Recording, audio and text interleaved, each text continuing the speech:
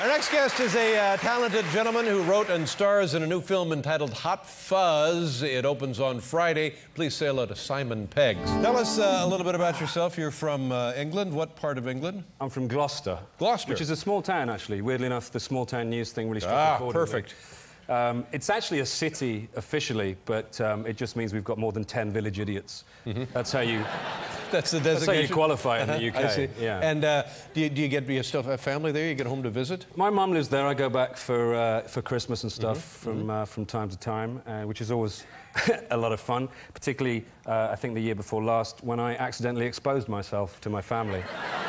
No. When when you when you expose yourself, meaning what what exactly? It was probably the most embarrassing thing that's ever happened to me in my entire life. We were sat, the whole family, watching TV. Um, my mum, my mother-in-law, my wife, my auntie, my cousin, and my sister.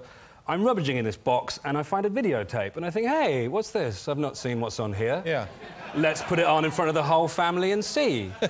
and uh, you're way ahead of me now. Um, so I put it in the video and we're watching it. It's a nice sort of me and my wife on holiday together and we're at the beach and then we're sort of in our, in our room, sort of like getting ready to go out and we're doing this thing where we're saying, she's saying, this is my dress, it's from such and such and these are my shoes. Cuts on to me, I say, here's my penis.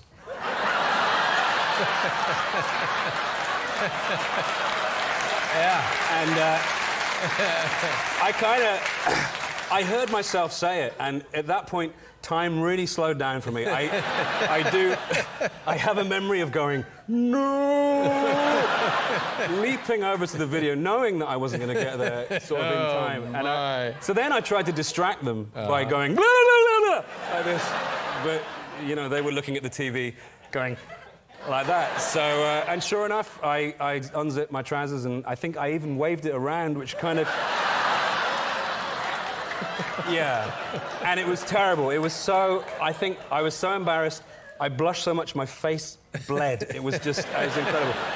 My sister kind of. My sister looked away. Yeah. She didn't want to see that, you know. which is weird because it's a small town. What? I was wanting one of those. I wanted one of those. And then my, my mum my mum said, "Hey, that's changed," uh, which was encouraging. Uh, and yeah. then, then my mother-in-law sealed the deal by saying, "Can you wind that back? I didn't have my glasses on." Oh. Well, you've done it. You've got this now. It's in the books from now on, isn't it? Yeah, it's a, I, I kind of, you know, thought if ever I get to be on this show, at least I could tell that story. It's a pretty so- good one. Pretty good one. Now, the, uh, the the first film, Shaun of the Dead. Yes. And and your co-star in that was uh, Nick Nick Frost. Nick Frost, yeah. my- and, you, my- and you guys were uh, buddies beforehand, obviously. Yeah, I met him. He was a waiter. Weirdly, he was a waiter that didn't want to be an actor. Now that's rare. Yes.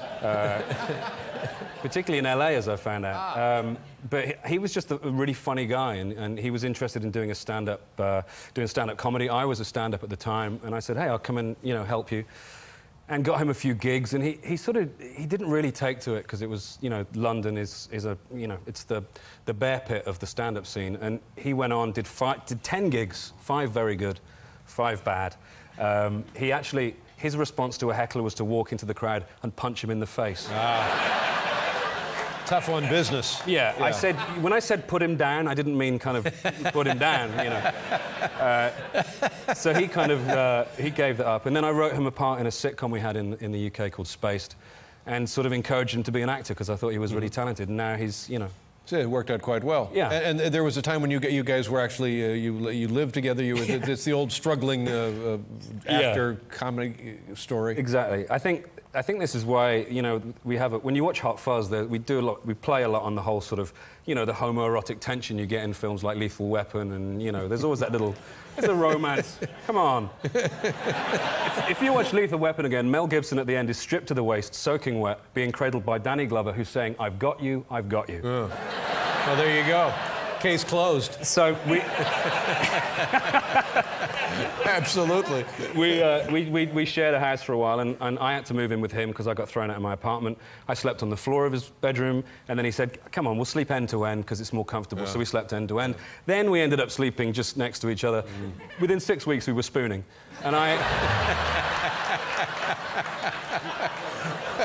some, some mornings I didn't know where I began and he ended, if you know what Did, I mean. Uh, no. He? I, I recommend it. I recommend it to all straight guys just to, just, to, just to get in bed with your best friend and realize that it's okay to cuddle. Uh-huh. I see. Had, uh, had he seen the videotape?